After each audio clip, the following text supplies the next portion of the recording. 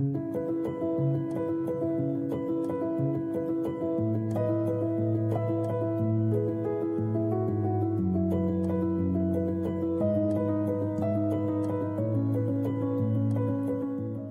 my name is Mary Garrish and I'm a landscape painter. And today we're going to explore the topic of tonalism. When I first started painting, I was drawn to color first before everything else. And I have to say, a lot of color. Maybe that stems from my last name, Garrish, but uh, since then my aesthetic taste has changed and I've become much more attracted to tonal paintings, both for their simplicity and close value. So today we're going to explore this topic. Okay, so now we're going to proceed to the sketchbook and I'm going to show you how I studied to come up with my design. So our references here that you can see, there are three moonlit photos, and I am no photographer. Uh, this was just taken with my iPhone from my front yard and actually my backyard. And so I used these to come up with interesting lines and interesting shapes, which pine trees are great because they're just so varied and uh, so many great distinctive branches and everything. So I drew a square here, a two by two, and I decided like where my lines were going to go. So I thought that I might like to have a tree line on the third and then the sky backlighting a couple of interestingly designed pine trees. So I did this one and then I came back in and did another one that's similar but varied as to the shapes and everything. And then I moved down to a vertical. I thought, well, maybe I want to emphasize the verticality of the pine trees. So this is a two by two and a half, and I placed my lines here, very simple lines. You can do these very rapidly. And then I came over here and kind of refined them a little bit more. And then I have another one down here. So you need to do multiple thumbnails with the pencil to really, you know, expand your thoughts on where you want the painting to go. So I decided I really liked the square painting, but I wasn't sure. And so the next step, I went and I started studying value with my three markers here. These are Prismacolor markers, and you can get them on Amazon. They come like a pack of 12, and they go all the way from 0 to 10. Um, zero being white, uh, I should say zero to 100. Uh, so there's 10%, 20%, 30%, each progressively getting darker. So I'm going to try to keep this painting to a three value painting. So I have three values here. I have 20%, I have 50%, and I have 80%. So the sky will be my lightest value. And since this is going to be a nocturne and a tonal painting, my upright trees, that form is going to be my darkest dark. So the mid-tone is going to be the reflection of those into the water. So I started with my markers and designing on the square. And then I went to the vertical. And I still wasn't 100% certain, even doing my value studies, which one I liked the best. On this study, I thought the trees were too central, but that's an easy fix. And I thought there were too many branches. So you're really working out a lot of things in your sketchbook. I tried a horizontal, I really didn't like that. So ultimately, I decided I liked the square better. Uh, I thought it was more intimate. And I think that that's where I'm going to take my painting when we go to the easel. That's it. Okay, so now I want to show you what tools I'm going to use to make this painting today. So much in the way of the tonalist movement, I am going to use a limited palette. And as you can see here on my palette, I have cadmium lemon, I have yellow ochre, so I have two yellows. The ochre, of course, being a muted tone, which means a neutral. So that will help to keep me from getting too garish. And then I have Venetian red, which again is a muted red, and cobalt. I've chosen cobalt because I tend to paint too darkly, and if I use ultramarine, which is much darker than cobalt, I tend to get way too dark. And if I just use the cobalt, I stay in the safe zone. Then I have squirted out two colors called cedar and another one is jasper. These are both muted grade green colors. They come from the Christensen Grays by Vasari, and I'm using those as convenience colors because they'll help me paint quicker. Now, those are made from the three primaries, so they really don't count as another color because I could mix those myself. And then I have Ruby Violet, which is a cool red that I'm going to use. And I have my white. I have some wax that I'm going to use at some point to help give texture. I'm using Neo McGilp as my medium to have the paint flow a little bit better. And I have a Gamsol in here, which is an odorless mineral spirits. I have my trusty palette knife that I like to use for mixing paint, and I have different brushes. Brushes are something that I think you need to find on your own what works for you. When I first started painting, I would just kind of pick up a brush and I wasn't paying attention to what the brush could do for me. So I would suggest just taking a blank canvas and just playing around with some brushes and you know dig into your paint and seeing how it goes onto the canvas and figuring out for yourself what is the best brush for you. And then I have an old room key from a hotel that sometimes I use to scrape down. One last thing. This is my handy hand and brush cleaner. It's called Marvelous Marianne's Savvy Soap. And it's great for your hands, but it is fantastic for your brushes. And what you do is you clean your brush in your turpentine, then you squirt a little bit of this out on the paper towel, and you take your brush and rub it back and forth, and then you squeeze it out, and you'd be surprised how much more paint is left on the paintbrush. And then you leave a little bit on there, and you can condition the tip and make it nice and sharp again. And that's what we'll be using today. Okay, so now I want to show you how I found my palette for the nocturne that I'm going to do today. So first I started experimenting with ochre, transparent red oxide, cadmium orange, and ultramarine. And when I'm doing these little studies, I knew I wanted a square, so it's a square study. I'm not really taking that much care about my shapes because this isn't the study of my shapes. Right here, I'm trying to find my palette and what value structure I want. So this was the first study I did, and I didn't really like it all that much. I went on to the next value study, and I was starting to like this a little bit more. It's Indian yellow, Venetian red, cobalt, and phthalo. But in the end, I didn't really like the phthalo in there, and I thought, you know, I'm going to try one more palette and see where we can go. Okay, so this palette that I used is lemon yellow, ochre, Venetian red, cobalt, and two neutrals that are green from the Christensen Grays by Vasari. Again, it, this is not about shape, it really is all about value and color palette. So I decided on this color palette because I wanted a tonal nocturne. I didn't want it to be so much about color, and the other two palettes that I was using, color got too much in the way. So this is going to be about subtle color shifts and simplified values. And that's why I like this palette.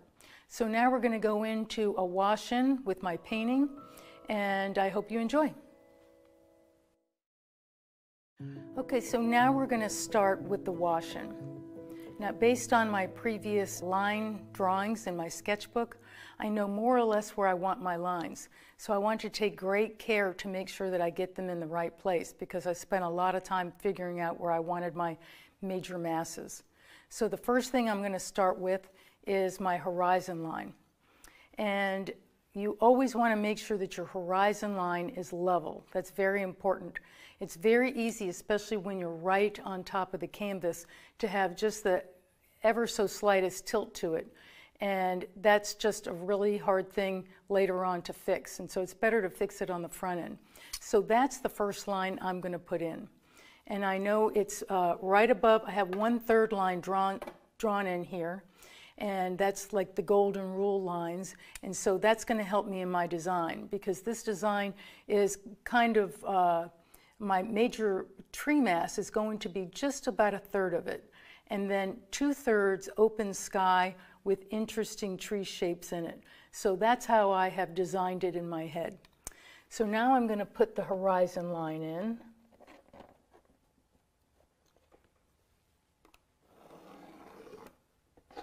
And it was just about an inch above the one-third line. So now the next most interesting line I'm going to just kind of briefly put in is where my diva, which is the moon, where that is going to be. And I know that's about six and a half inches down and about six and a half inches. So, you know, midline would be eight. And so our diva is going to go right around in here. So I'm just putting in some little placement lines, nothing too interesting. And so this is going to be our tree line, and it is somewhat of a vertical line, but it should be an interesting broken up vertical line. Uh, this is one where one of the uh, tree masses is going to be, so I'm just putting a line in here and another tree that's going to come over in here in our design. And then I have the marsh planes that are kind of layered in here. And I know this one's about four down from the bottom, so I'm going to draw that in. And that one's about an inch and a half from the other one.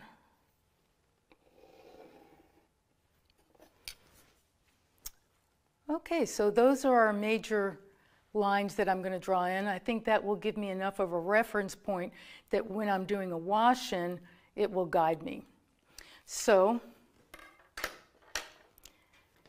now, most of the time when I do a wash-in, a lot of times it's transparent. But this time I'm not going to do a transparent wash-in. I'm going to be working more on uh, shape finding. And so I'm going to mix up kind of a neutral tone for all the land masses. It will be my mid-tone, and then on top of that, I will put other mid-tones because I will bend this one warmer, cooler, redder, bluer, and then I will lay my darks in on top of that. Since my mid-tone is about 60% of the painting, that's why I'm going to start with that.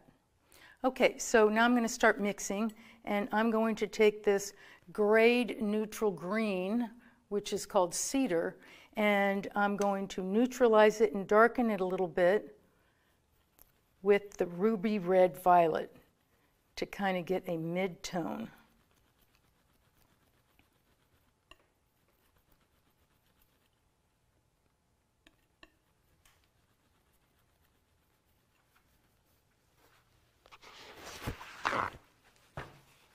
Okay, I'm going to add a little bit of my Neo McGilp, but not too much.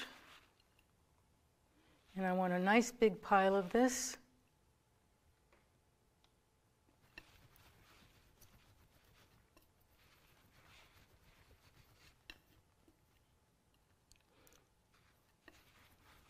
And so that green was already neutral, but if you look at it by itself on the palette, it's just a little bit too colorful for a nocturne.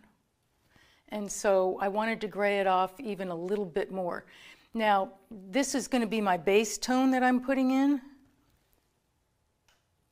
And so I put that up there. It looks a lot lighter down here because all the ambient light is hitting it. And so now I know that's too dark. I don't want that to be that dark for my mid-tone. So I'm going to come back in and lighten that.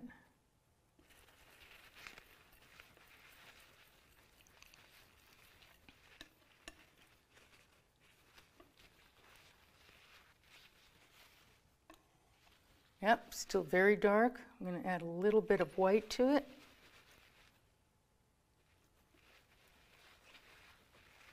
And I'm going to add just a little bit of ochre.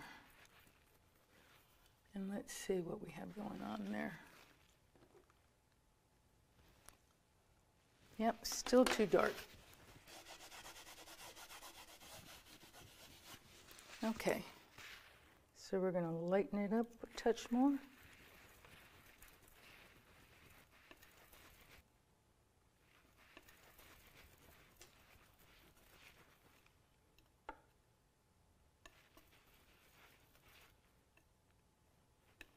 Okay.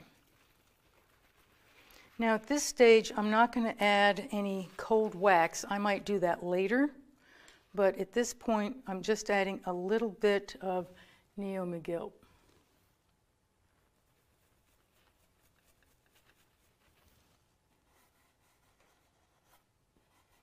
Okay.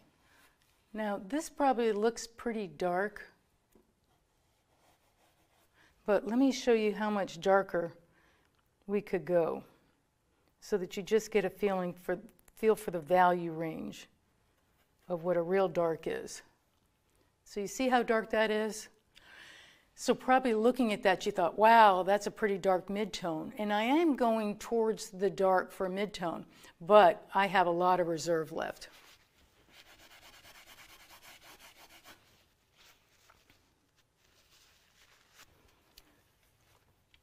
Okay, so here I am taking care of my shapes and I want an interesting edge here where this is going to meet the sky. But my final edges will come in when I'm putting the sky in. And it will be, I'll take great care with my edges.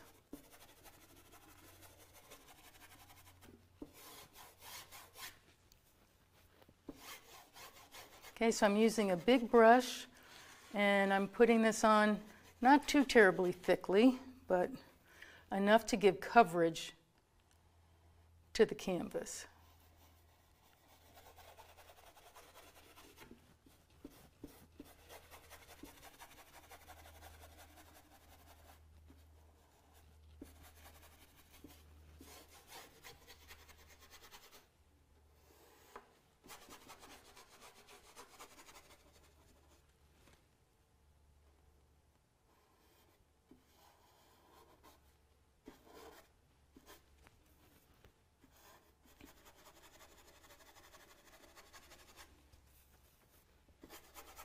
So this is why you mix up a big pool of paint. If you have to stop and remix, which I'm sure I'm going to have to do to cover all of this, it is takes up a lot more time than if you just are very generous on the front end and mix up a lot of this one tone.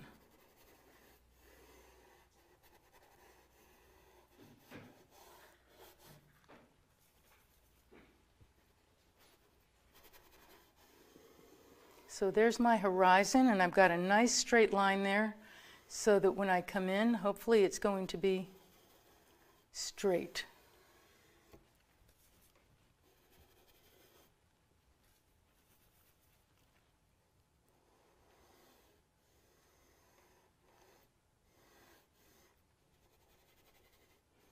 So I'm trying to make just interesting marsh designs here.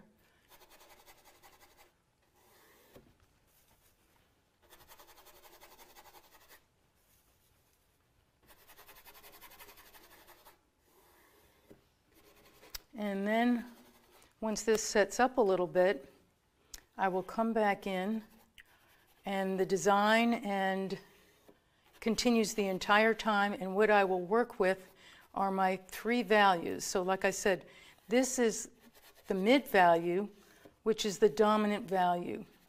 The sky is going to be the lightest light and there are going to be darks tucked back into this midtone.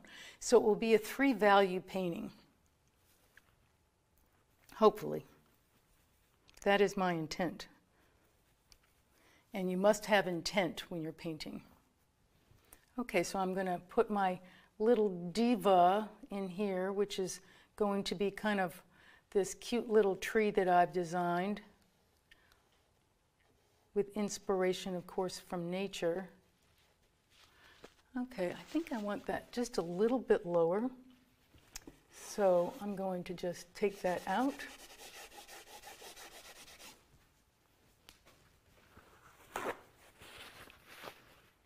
And I'm going to put it a little bit lower. And the reason I'm doing that is I have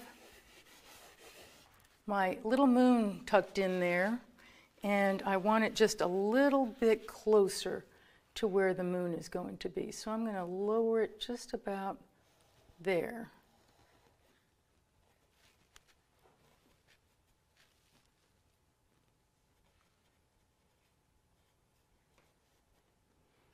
Okay, and that's going to be part of one tree. And then I have, just for a little bit of tension, I've got another little kind of nondescript tr tree that's off to the side there. And then I have another lacy designed tree mass.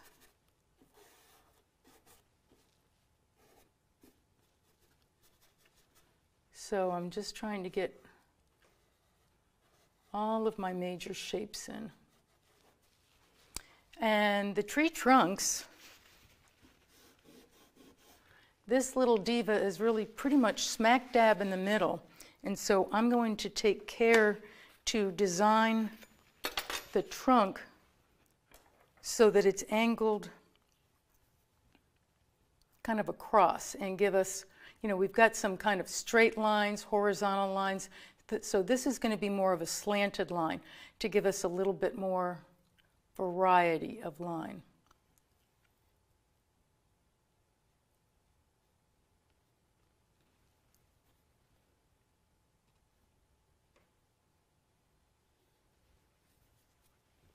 And this is going to have some very interesting lines in here, but the, uh, and we're going to have some sway to it. And uh, that's my initial attempt at something interesting, but it may change along the way as we come in with the sky color.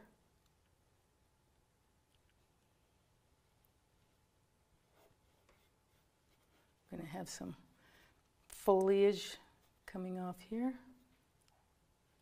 A little interest over here, but not too much interest. We're going to have most of our tree interest towards the center here, right where our diva is and right where our moon is going to be. Okay, so I think that's pretty good. I'm just going to cover a little bit more so that the toned canvas, and I have toned this with um, just a very, very light yellow ochre.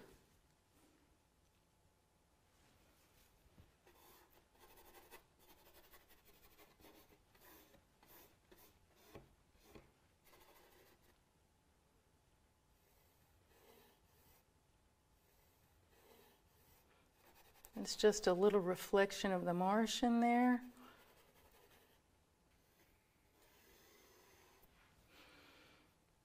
Okay, so that's the end of the wash-in, and next we're going to come back and I'm going to show you how I'm going to pre-mix a lot of paint.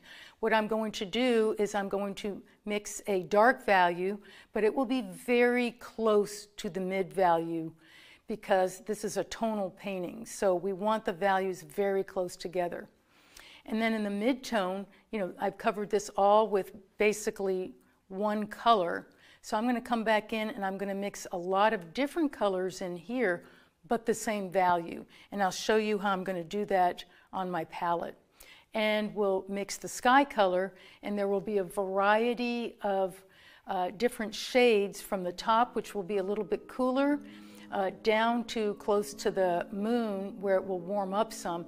But again, all of those will be the same value, just a color shift. Okay, so now we're going to go into mixing of paint. And since I have my mid-tone on here, I'm going to go ahead and I'm going to make some pools of paint that are warmer, cooler, redder, bluer for the mid-tones in here. And then I will leave that in a, a, line, linear, so that I can look at them and make sure that they're all the same value. Then we'll go into mixing the darks, and lastly, we will mix our lights for the sky. Okay, so you can join me here on the palette. And this was my initial tone, and I'm going to mix up a bigger pool of that.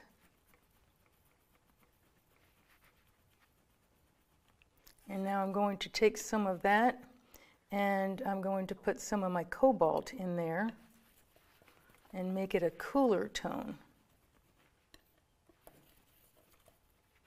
But you can see next to it, it's the same, same value as this initial tone that we put in there. If you squint down, the edges between them go away. So now I'm going to make same thing, but with a little bit warmer, redder towards the brown. And I'm going to do this by adding in my Venetian.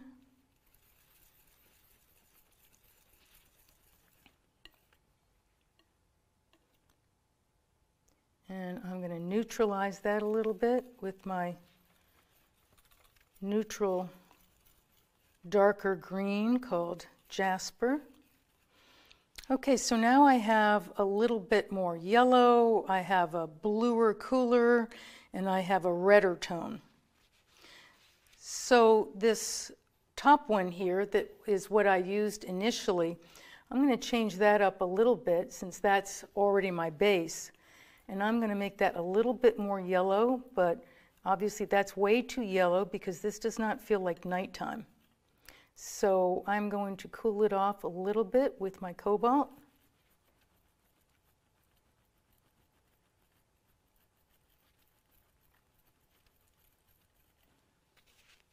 We've got three nice midtones, and I might continue while I'm painting to bend those also, but I've got three nice pools to work from. So now I'm going to go ahead and mix up my darks and I'm going to dip into my cobalt here. I'm going to try to make some nice big pools so I don't have to remix them. Now you see how colorful that is. I mean, that is like a whoo, saturated. So I used my ruby red and I used my cobalt. So now I'm going to come in here with my Venetian, which is a grade red, and probably even dip into my jasper here to kind of calm that down a little bit. I'll put a little piece of that up here just so that you can see. It's still not calm enough so you can see how colorful it is. Actually, it doesn't look too bad. You know what? I may just go with that because once I put that into this neutral midtone here, I think that's going to work well. It's this neutral midtone is going to, the, the dark is going to sink into that midtone and it will naturally um, neutralize it even more. So, so that's my one tone. And I'm going to make one more darker tone that's more of like a uh, shade green color, kind of for the interior of the tree. Most of my darkest darks are really going to be in, in the bottom down here where it's kind of the core, where it really doesn't get any light. And so this will be the shadow side of the tree.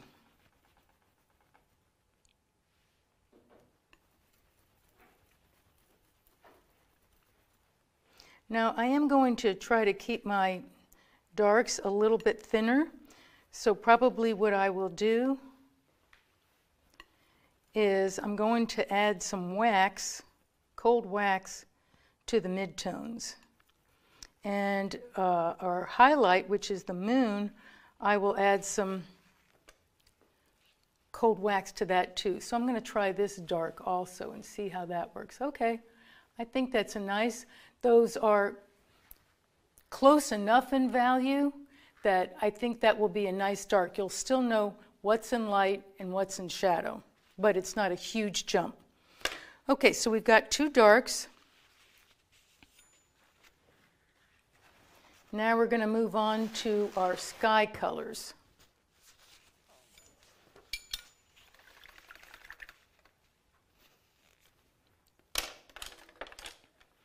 Okay, so for the sky, again, it's going to be muted. So I'm going to start off first with cobalt, and I'm going to put some lemon yellow in there.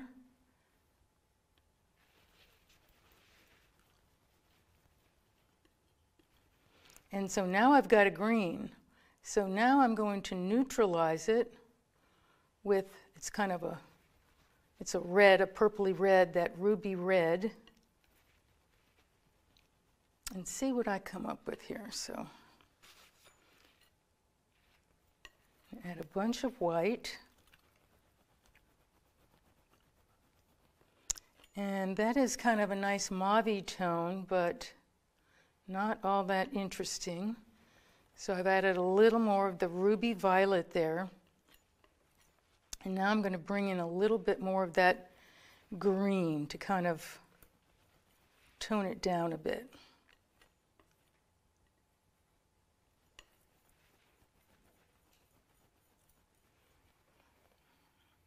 Okay, so with that, that's a little bit more towards the red or the purple. And I'm going to have same value, but a bluer for the edges.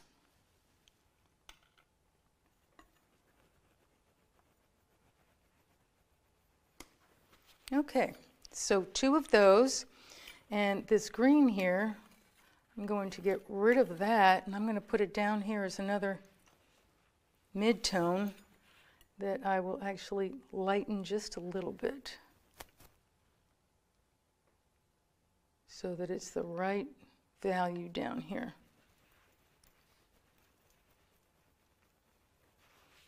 Okay, I'm going to clean my palette. And now I'm going to start mixing up the warmer tones that will be closer to the full moon. So I'm going to dip into my cobalt here and again my lemon yellow and add a bunch of white.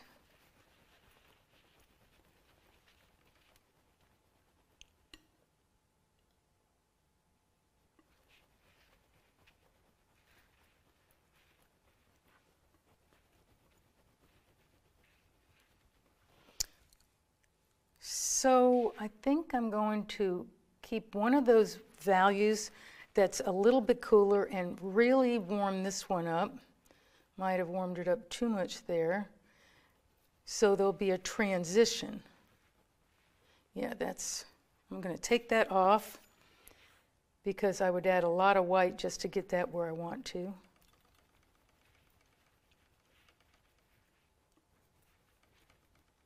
Okay, I'm going to bring some of that in here to warm this up just a little bit. Okay.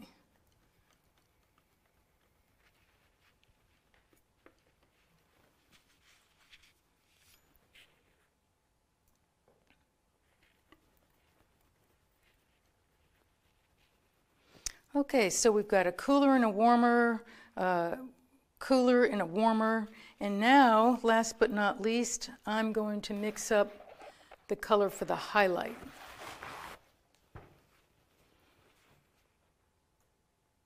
So I'm going to start with a bunch of white there and a little bit of lemon.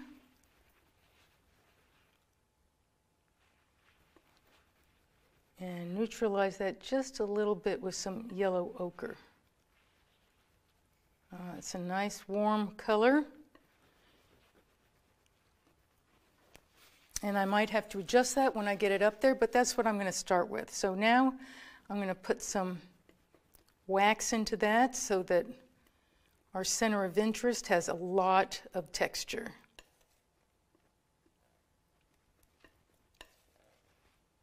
Hope you can appreciate what that wax just did. And I'm going to put some wax in the midtones.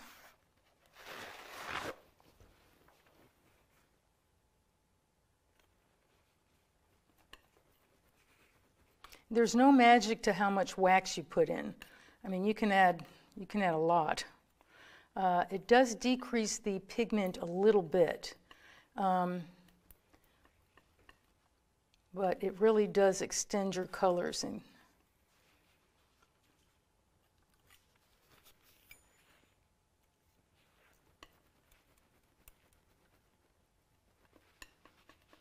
Okay, so you can see this is these colors are very muted. And, you know, if you were if you were wanting a colorful painting, this nocturne, tonalist nocturne, is not for you. But I like the color harmony associated with this and the subtle difference in value change. So that's what I'm going to be rooting for and trying to get in this painting.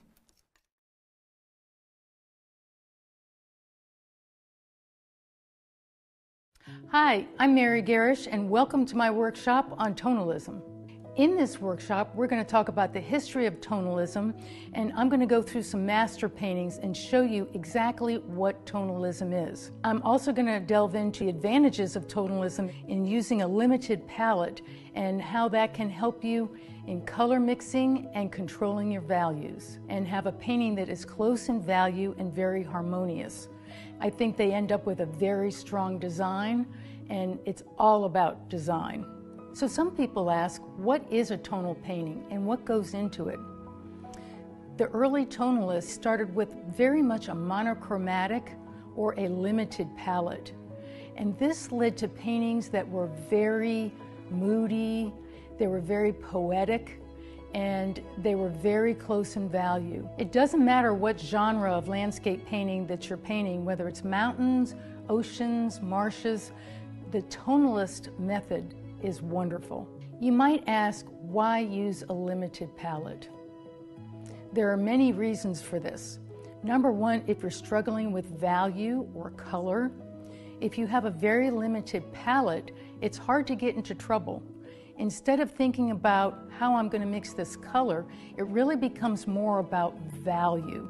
And what you will learn with this is using a limited palette, you really can mix pretty much all the colors that you need to for most landscapes. The perfect fit for this workshop really is anyone who's struggling with value and color. I think that's one of the hardest things to get our head around when we're painting, especially if you're a plein air painter. And if you limit your palette when you're outside, it makes it much easier and much less time consuming when you're trying to mix your colors. I don't know how many of you are familiar with cold wax. What it does is it makes it much easier to paint with texture. You take the cold wax and you add it to your paint and then you have at least doubled the amount of paint that you have. And it adds to the atmosphere in your paintings. So I would suggest that you join us today on this video and see how we do it.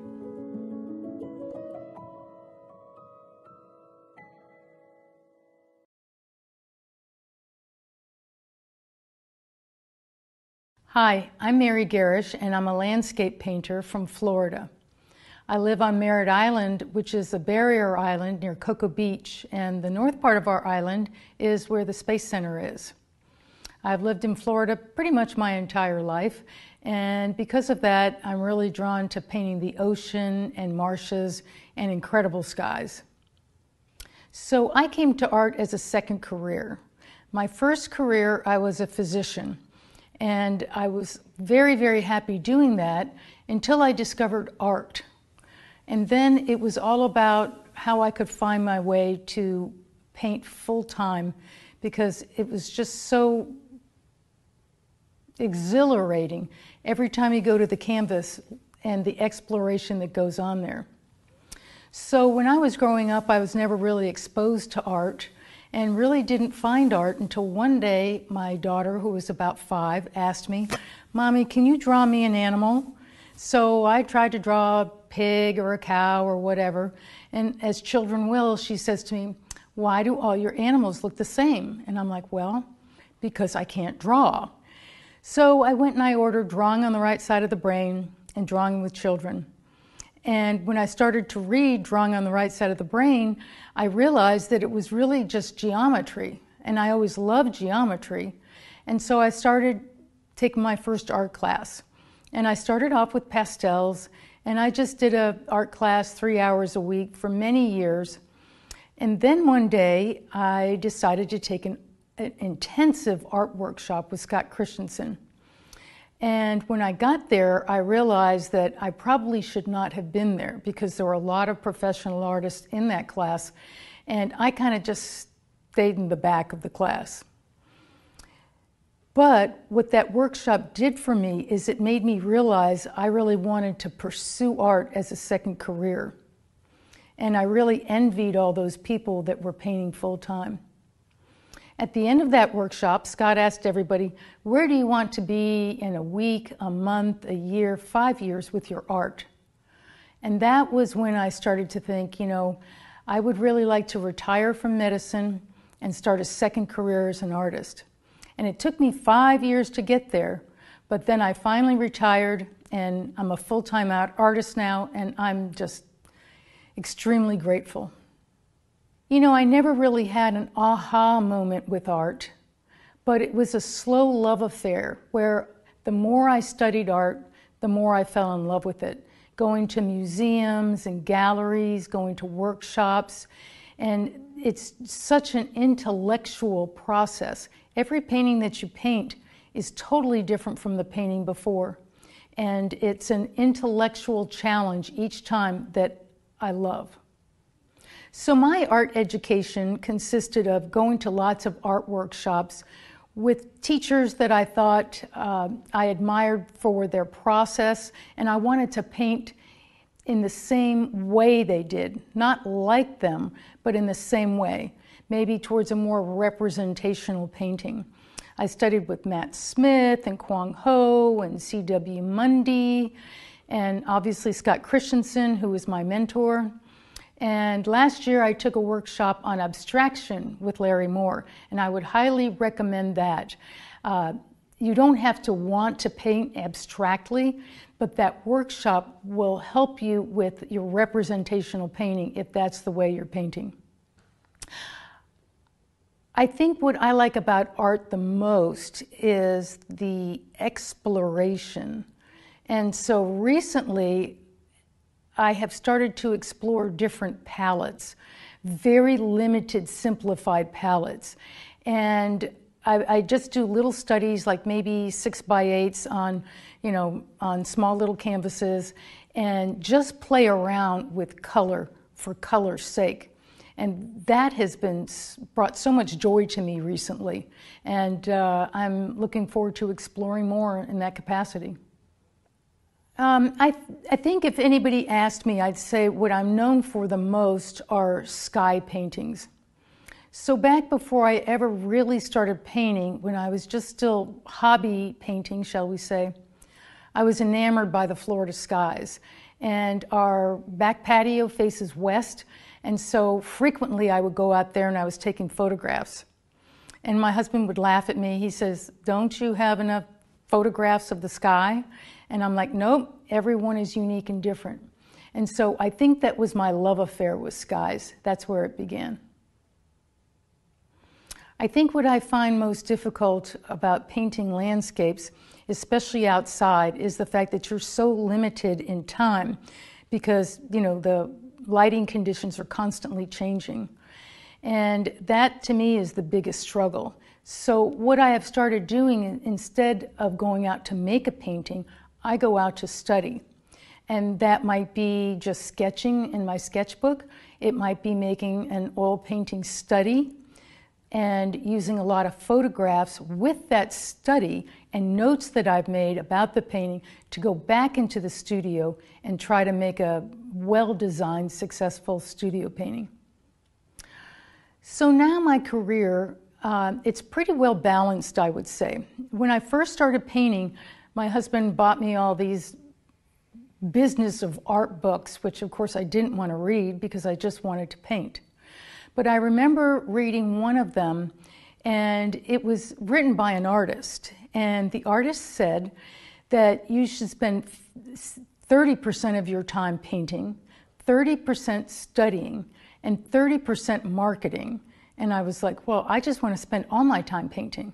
Well, and at first, until my career got going, you know, I didn't really need any marketing. But then I started getting into galleries and selling my art.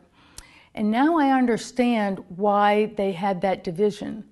But I still try to spend less time marketing and much more time studying. I think now I study more than I'm at the easel, quote unquote, making a painting. I might be at the easel studying, but the making the painting has become a lesser portion of my time because I'm really trying to advance my painting. And I think study is extremely important.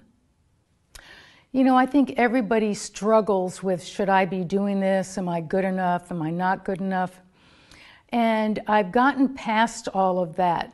When I first started painting, I would apply to art shows and things like that, and I still certainly apply to art shows. But you know, you've got to be used to getting rejected if you're going to be an artist. And it's not really always about you or your painting. There may be thousands of paintings out there. I was actually president of the American Impressionist Society for a number of years.